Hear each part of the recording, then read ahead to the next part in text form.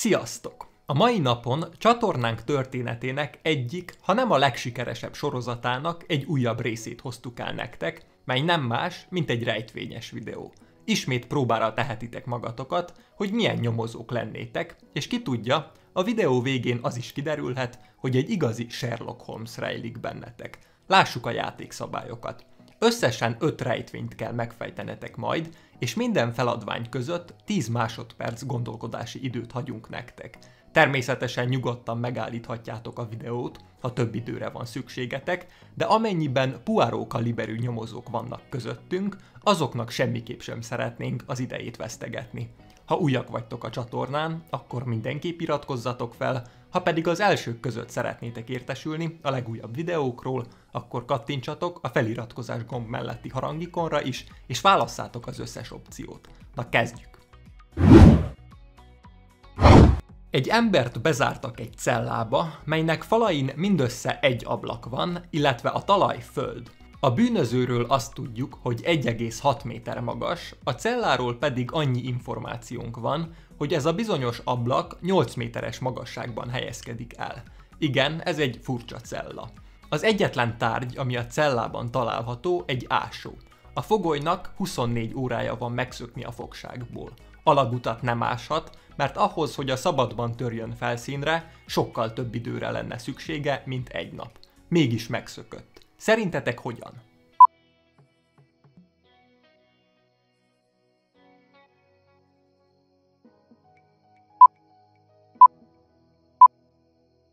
Az ásó segítségével az ablak alá hordta a földet, így alkotva egy dombot. Ezután már csak az ablakon kellett kijutnia. Egy férfi egy borongos délután kedvenc teáját szürcsölve egy regényt olvasott. Az egyik pillanatban a másik szobából egy hatalmas csörömpölés hallatszott. Hirtelen felugrott és oda sietett. A földön felesége kedvenc emléktárgya hevert, darabokban, és a bejárati ajtóban megpillantott egy férfit. Üldözőbe vette, de amint kiért az utcára, szemüvege bepárásodott, és így nem tudta azonosítani az elkövetőt. A rendőröknek részletesen elmesélte a történetet, akik a történet után közölték vele, hogy nem indítanak nyomozást az ügyben, mert egyértelmű, hogy hazudik, és ő a tettes. Szerintetek igaza volt a rendőröknek? Ha igen, mi buktatta le a férfit?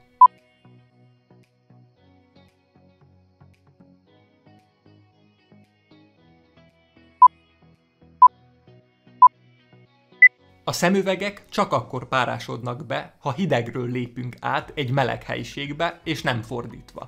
A férfi a háza melegéből szaladt ki az utcára, tehát a szemüvege nem párásodhatott be. Nyomjatok egy lájkot, ha ismerős számotokra az az érzés, amikor egy téli napon hazaértek, és szó szerint az orrotokig nem láttok a bepárásodott szemüvegen keresztül. Négy férfi munka után rendszeresen eljárt a város főutcáján lévő szaunába. Az első férfi imádta a híreket, ezért a szaunában is táblagépén olvasta a legfrissebb cikkeket. A második férfi a zeneszerelmese volt, minden alkalommal fülhallgató volt a fején, és kedvenc dalait hallgatta. A harmadik férfi rendre edzés után jött a szaunába, és mindig volt nála egy termosz, amiből ivott. A negyedik férfi meglehetősen feszült hangulatban szokott érkezni, és végig egy stresszlabdát nyomkodott. Egyik alkalommal a híreket kedvelő férfit holtan találták. A rendőrök elvégezték a vizsgálatokat a helyszínen, és megállapították, hogy a férfit egy éles tárgyal ölték meg. Bizonyítékokat viszont nem találtak. Ki követhette el a bűncselekményt?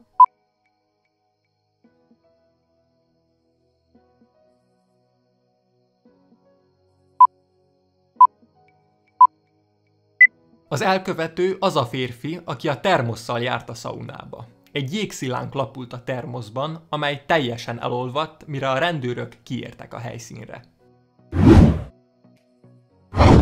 Egy nyomozó meghirdetett egy állást, melyel az volt a célja, hogy egy tökéletes segédet találjon maga mellé. Több körös kiválasztás után végül három embert hívott el a végső állásinterjúra. A következőket mondta nekik. Van egy rejtély, amit meg kell oldanotok. Az első nyomot a város egyik könyvtárában rejtettem el. Egy piros színű könyv, 165 és 166. oldala között található a cetli, amin az első információ morzsákat találjátok. Két jelentkező azonnal felpattant a helyéről, és a könyvtárakba sietett, míg a harmadik jelentkező a helyén maradt.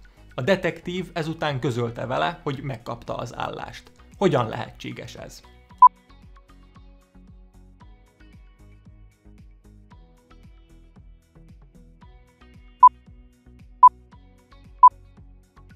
A 165. és a 166. oldal minden könyv esetén ugyanazon a lapon található. A két oldal között tehát nem lehetett a nyom.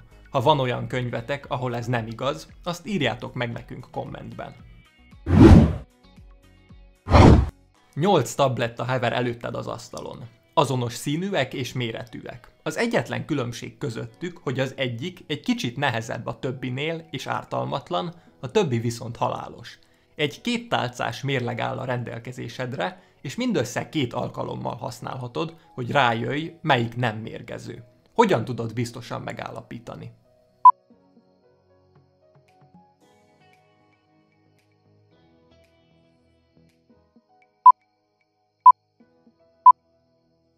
Válasz ki tetszőlegesen 6 tablettát a 8-ból. Hármat helyez a mérleg egyik tálcájára, hármat a másikra. Amennyiben az egyik oldal nehezebb, akkor tudod, hogy az a három közül az egyik nem mérgező. Ezután ez a három tabletta közül egyet tegyél az egyik tálcára, egyet a másikra. Ha egyenlő a súlyuk, akkor tudod, hogy a harmadik tabletta a biztonságos. Ha az egyik nehezebb a kettő közül, akkor az a megfelelő. Amennyiben első körben, amikor 3-3 tablettát mérsz, egyenlő a súlyelosztás, akkor a maradék három tabletta egyike a biztonságos. Helyezd egyiket a mérleg egyik oldalára, a másikat a másikra. Amelyik a nehezebb, azt nyugodtan lenyelheted. Ezzel a videó végére értünk. Nektek hány rejtvényt sikerült megoldanotok? Írjátok meg kommentben. Ha tetszett a videó, nyomjatok egy lájkot, és iratkozzatok fel, ha még nem tettétek. Ennyi volt mára, találkozunk a következő videóban. Na sziasztok!